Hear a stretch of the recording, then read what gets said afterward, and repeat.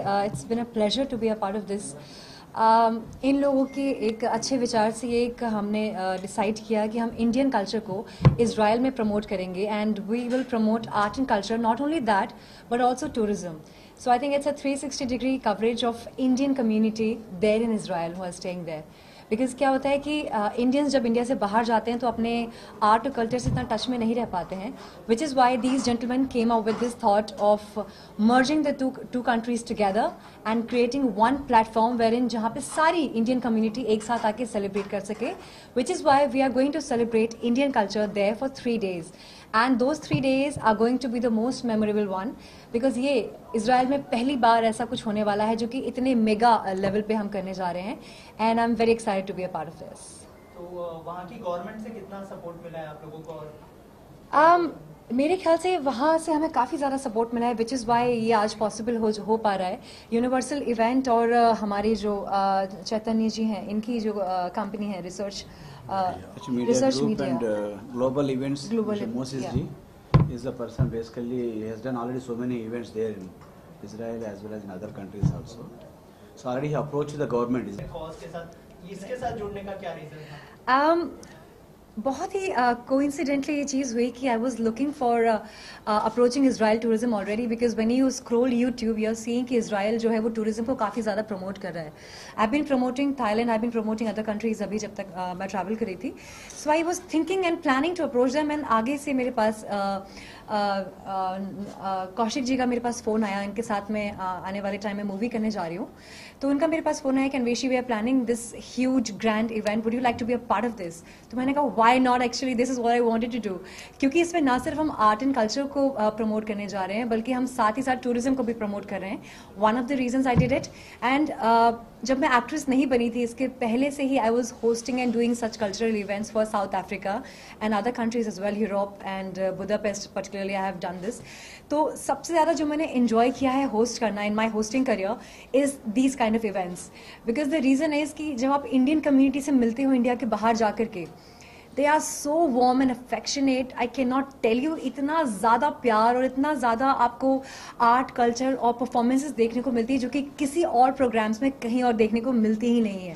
like last time I did Myanmar tourism which was amazing Indian people over there are just so beautiful मैं आपको बता नहीं सकती उनकी कितनी वार्मथ होती है और सबसे बेस्ट पार्ट जो होता है वो होता है इनके घर का खाना they will invite you to their places they they will keep you like so nicely that you will remember the experience so for all these uh, lovely reasons I chose to be a part of this and I feel really really happy about that Aditi anything you would like to add आप क्यों जुड़े अ, इसके साथ um, Indofest, Which is happening TLB 2019. I'm actually very excited to be a part of it because uh, actually इन्होंने सारी बातें बोल दी है मैं इन्हों में सारा रिपीट ही करने वाली हूँ बट ये पहली बार हो रहा है और I have never seen Israel I heard so much about it honestly that was more exciting for me कि मुझे वहाँ जाने मिलेगा और I'll get to because without work you know sometimes I wouldn't choose a country like that probably for Yeah. tourism but this this idea the thought that's changing in my head and I'm gonna go over there have I'm gonna experience the people what she's saying I'm gonna try to like contact and you know like be in touch also make friends something like that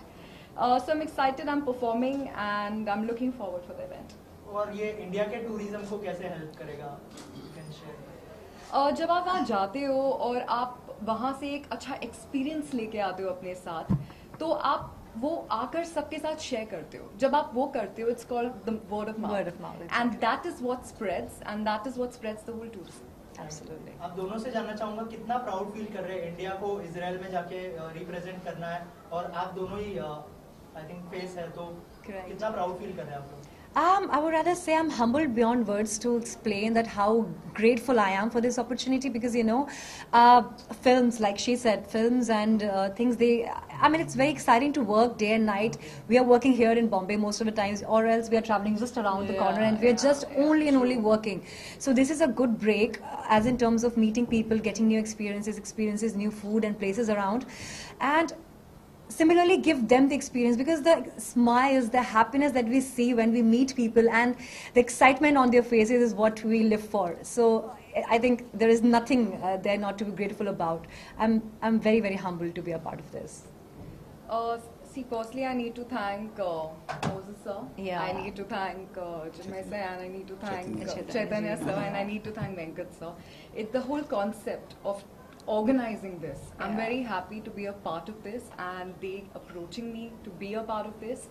Uh, so I'm hoping I'm going to make some really good memories out there. Yeah. आप दोनों से जानना चाहूंगा कि अ, कब ये idea आया कि uh, Indo Indo Israel festival हम लोग को करना चाहिए कैसे मतलब थोड़ा सा बताइए उस बारे में कि कैसे आइडिया है आप लोगों को Yeah, good. Actually, basically, we are from Research Media Group. Chaitanya is the chairman of the group and the executive director of the group. Uh, actually, Universal Events, Moses ji approached us three months back with the concept of doing a big festival like Indian festival in Israel, the capital of the Israel. So already they have more than 10 years experience as well as we are like one of the pioneers in South in the field of events as well as corporate branding and other things and all. And we have very good contacts with uh, southern film stars as well as here with uh, Bollywood and other parts of the part of the India. So they approached us to make a big event by not only by inviting the uh, stars, he very clearly asked us to involve in all the angles, 360 degrees, like including on this part we are also inviting ministers, central government ministers uh, from government of India, as well as a few ministers from Israel also uh, gracing the event. So when that happens, naturally we can share our ideas, our thoughts, as well as the tourism development in both the countries, between both the countries, okay, as well as uh, in particular, we are giving the entertainment to the people who are residing in Israel, Indian community who are residing in Israel. Definitely, by seeing all these big stars and uh, our politicians, okay, and uh, the way of uh, uh, what do you call like uh, uh, the musical musical show and other things, what we are, Yeah. what what all we are giving, Yeah. with those all definitely they will feel thrilled. So giving entertainment to our community in Israel is definitely will give us something a great feeling. Yeah. Thank you. सो वो as I ask कि और बॉलीवुड से कौन कौन जुड़ने वाला है Yeah, we are approaching many, uh, so we'll let uh, we'll know most probably in the coming 10 to 15 days, as uh, we are uh, scheduled this event in the month of October. Uh, we have uh, three months time with us. Most probably by the end of August, we'll finalize all the uh, stars, not only from Bollywood, also from Tollywood and other places, as well as uh, uh, big singers also are going to take part in this uh, event. Right. What you, what is the charges uh, who who wants to visit in this festival? The Israel people. Uh, you see, mostly uh, like uh, uh, that all um, better let our uh, chairman from Universal Events. He will. Actually जो ये इस event के मुख्य कारण है ये अपना India का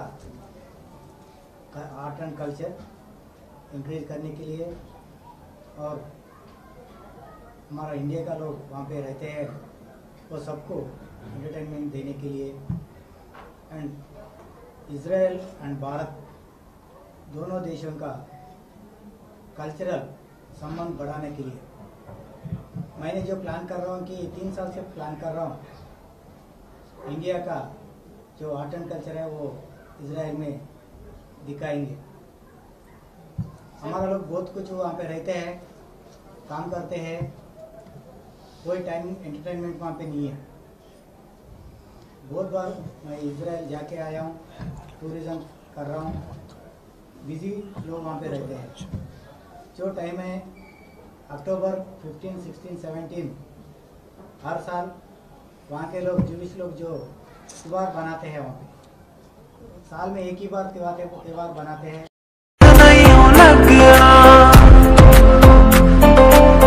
तेरी